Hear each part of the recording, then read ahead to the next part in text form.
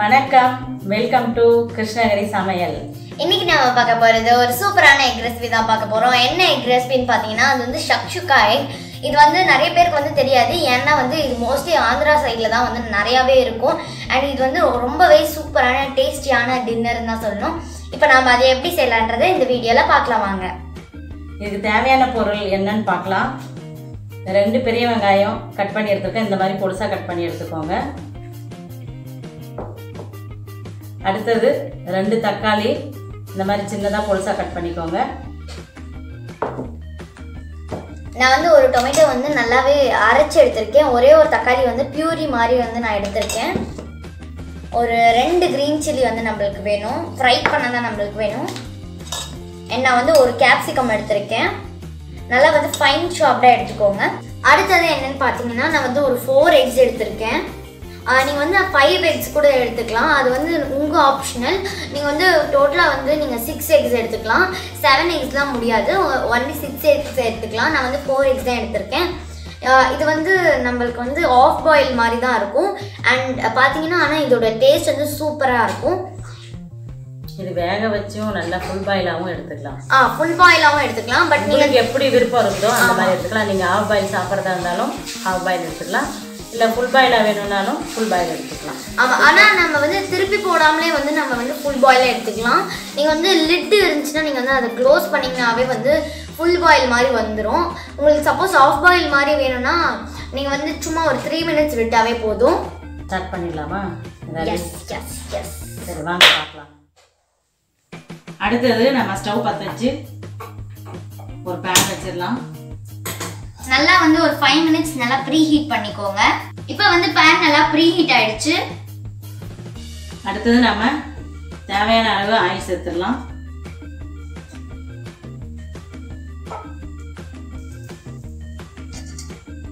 பாருங்க ஆயில் சேர்த்தாச்சு. ஒரு டீஸ்பூன் இஞ்சி பூண்டு விழுது சேர்த்துடலாம்.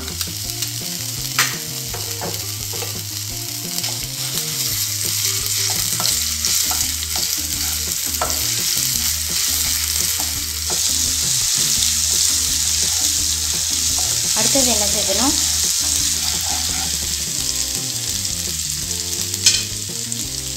அடுத்தது ரெண்டு க்ரீன் சில்லி சேர்த்துடலாம். இந்த மாதிரி பொடுசாக கட் பண்ணி வச்சுக்கோங்க.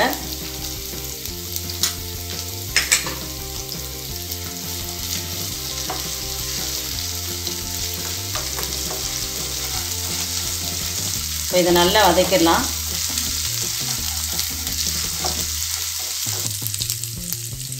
அடுத்தது இந்த வெங்காயம் கட் பண்ணி வச்சுருக்கிறத சேர்த்துடலாம்.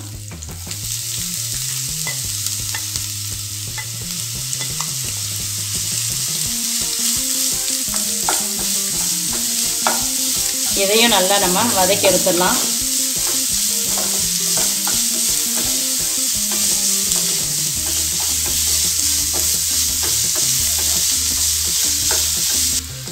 வெங்காயம் நல்லா வதங்கிடுச்சு பாருங்கள் அடுத்தது இதில் வந்து நம்ம வெட்டி வச்சுருந்த அந்த டொமேட்டோ சேர்த்துக்கலாம்.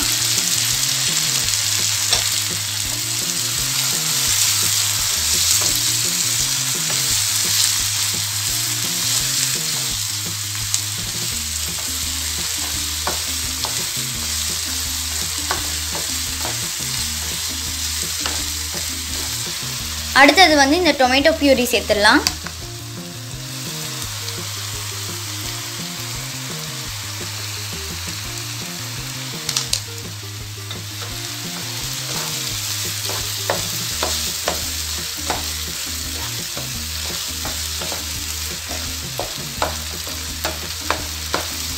இது வந்து நம்மளுக்கு வந்து இந்த இந்த கன்சிஸ்டன்சியில் தான் வந்து இருக்கணும் நம்மளுக்கு.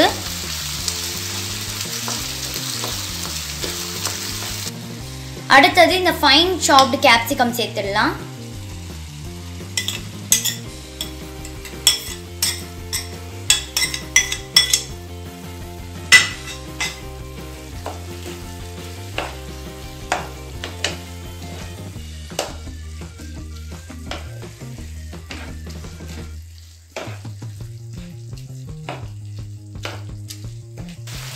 அடுத்தது வந்து நம்ம இந்த தனியாத்தூள் சேர்த்துடலாம். அடுத்தது வந்து ரெட் சில்லி பவுடர் சேர்த்துடலாம்.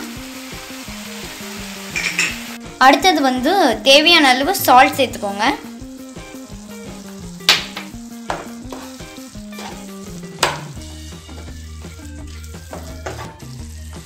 இப்போ வந்து ஒரு ஹாஃப் டீஸ்பூன் வந்து கியூமின் பவுடர் சேர்த்துடலாம் சீரகத்தூள்.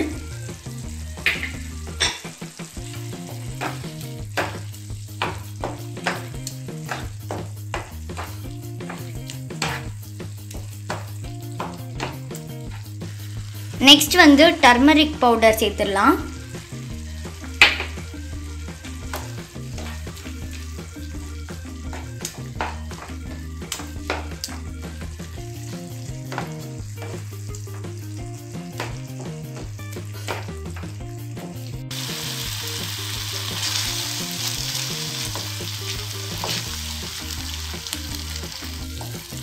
உங்களுக்கு வந்து தேவைப்பட்டுச்சுன்னா நீங்கள் வந்து ஒரு டீஸ்பூன் வந்து சுகர் சேர்த்துக்கலாம்.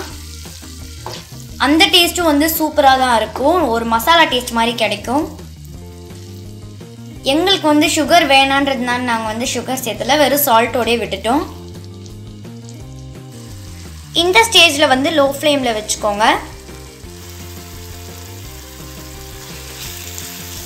இப்போ இந்த மாதிரி எல்லா மசாலாக்கும் நடுவில் வந்து இந்த மாதிரி கேப் பண்ணிடுங்க. அண்ட் அந்த கேப்பில் வந்து ஒரு முட்டையை சேர்த்துருங்க.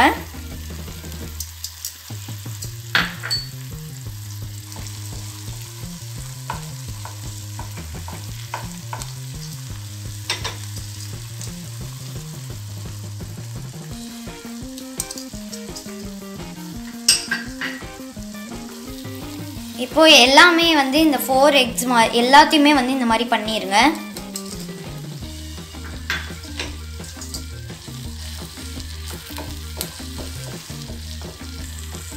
இந்த ஃபோர் எக்ஸுமே போட்ட பின்னாடி இப்போது இந்த மாதிரி ஒரு லிட்டு போட்டு வந்து க்ளோஸ் பண்ணிடுங்க ஒரு எயிட் மினிட்ஸ் வந்து இதே மாதிரியே விட்டுருங்க. அப்போ தான் அந்த எக் வந்து நல்லாவே வந்து பாயில் ஆகும். உங்களுக்கு ஆஃப் பாயில் இல்லை நீங்கள் வந்து ஃபுல் பாயில் கூட பண்ணிக்கலாம். உங்களுக்கு வந்து அப்படி ஃபுல் பாயில் வேணும்னா நீங்கள் வந்து டென் மினிட்ஸ் விடுங்க. எனக்கு வந்து ரன்னியாக தான் இருக்கணும். அதனால் நான் வந்து எயிட் மினிட்ஸ் தான் விடுறேன்.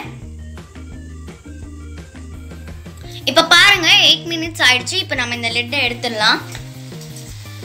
இப்போ நாம இந்த எக்கு மேலே வந்து நம்மளுக்கு தேவையான அளவு உப்பு சேர்த்துக்கலாம்.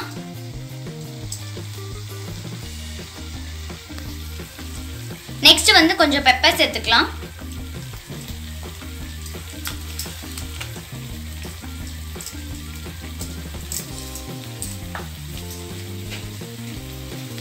இப்போ கொஞ்சம் கார்னிஷிங்காக நம்ம வந்து கொரியாண்டர் லீவ் சேர்த்துக்கலாம்.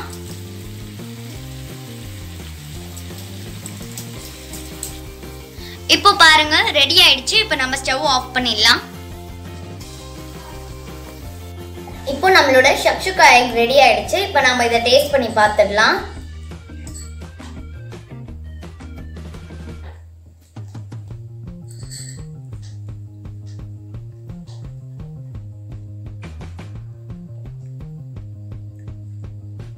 டேஸ்ட் சூப்பராகவே வந்திருக்கு.